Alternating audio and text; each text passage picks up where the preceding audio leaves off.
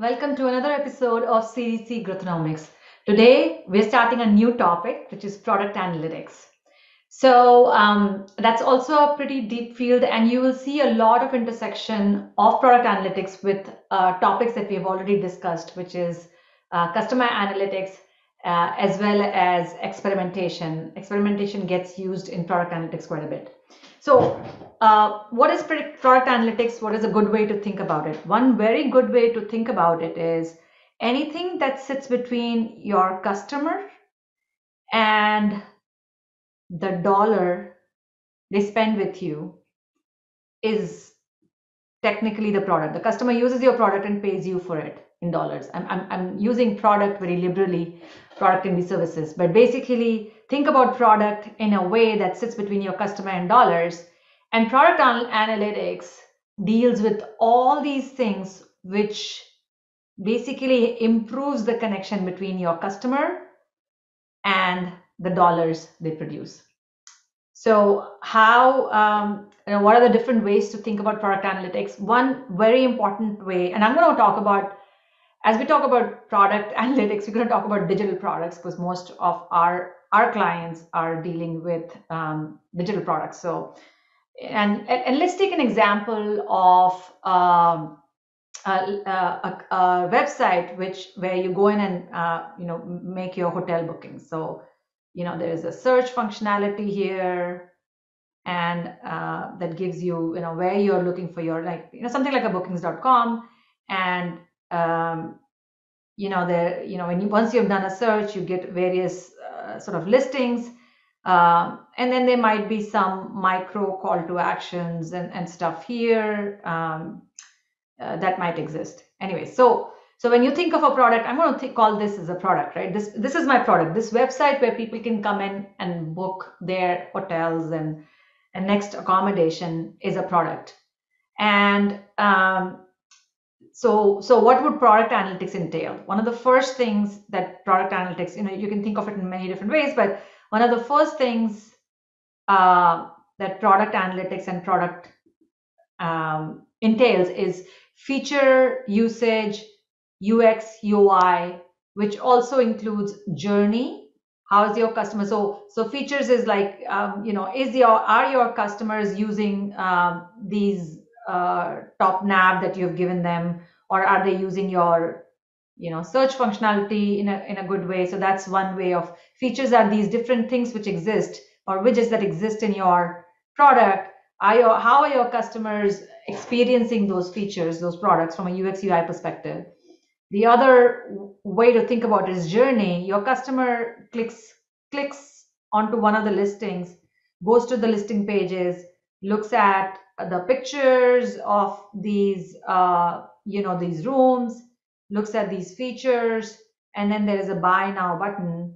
And it becomes a journey once it goes into a flow where you're expecting them okay they like it they've added it to the cart and then and then what happens right? So there's you know and then there's a payment success or whatever else. So so think about so the two ways to think about ux ui one is the feature uh, feature analytics and then the other one is you know journey.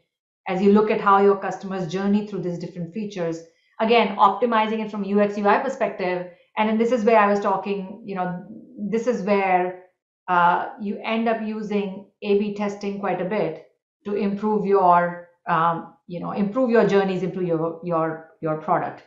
Uh, and in the same context we also talk about how how do your cohorts process.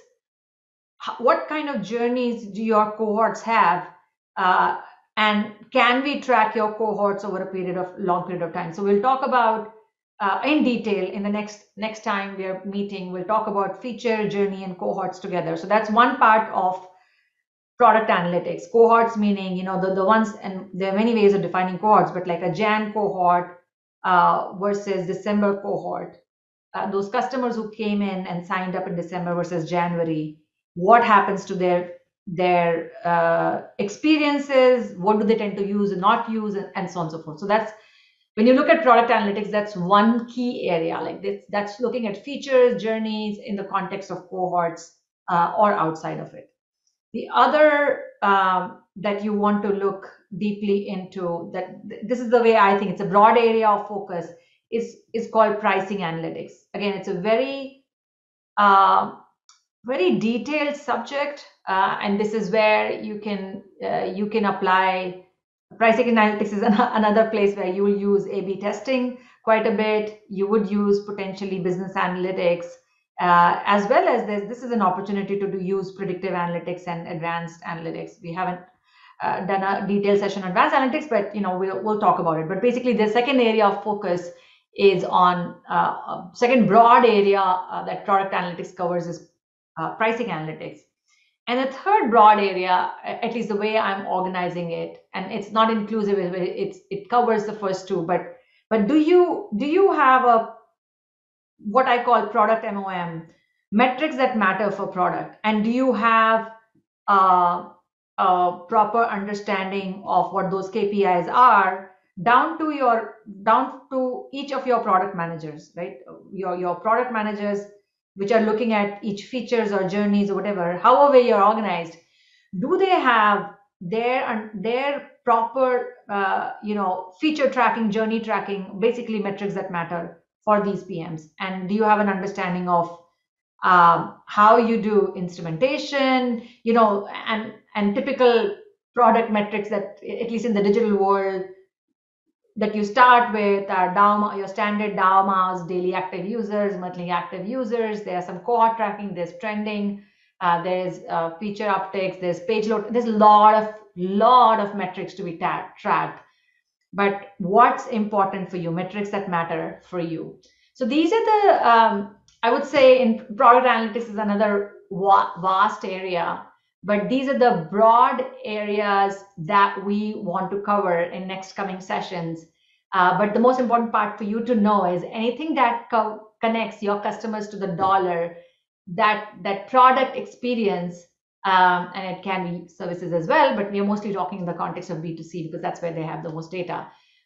How how does how that process can be optimized so that the customers can be delighted, they can have more meaningful experiences uh, and their needs can be met with your product and you know you generate uh, greater profits and, and dollars as a result of it. So that's all for uh, product analytics. Um, we'll see you next time and we will deep dive into features and uh, cohorts as well as journeys